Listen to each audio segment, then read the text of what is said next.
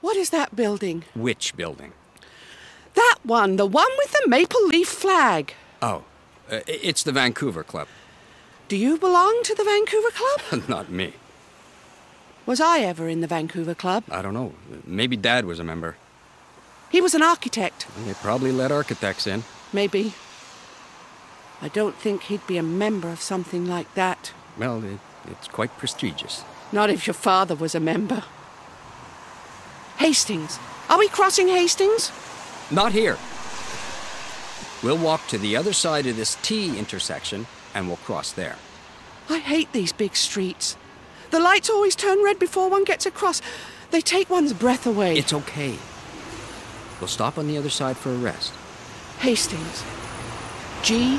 Cordova. Burrard. Hastings. G. Cordova. Burrard. She'd been doing that for quite some time now. Reading the signs? Cordova, Burrard, Hastings. The string of names would go on and on. Some kind of crazy poetry. Like she was creating a map of the journey. A couple of years ago, I drove her down to the States. She read every sign between her apartment and the Bellis Fair Mall. Sometimes I thought she was just doing it to irritate me. And I guess I hope she was. God. It's okay. Take a moment.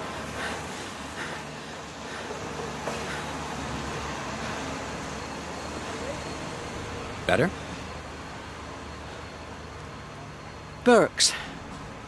It's Burke's. Monte Cristo. Oh. Monte Cristo. Monte Cristo. Time to keep moving. We don't want to be late. Let's go.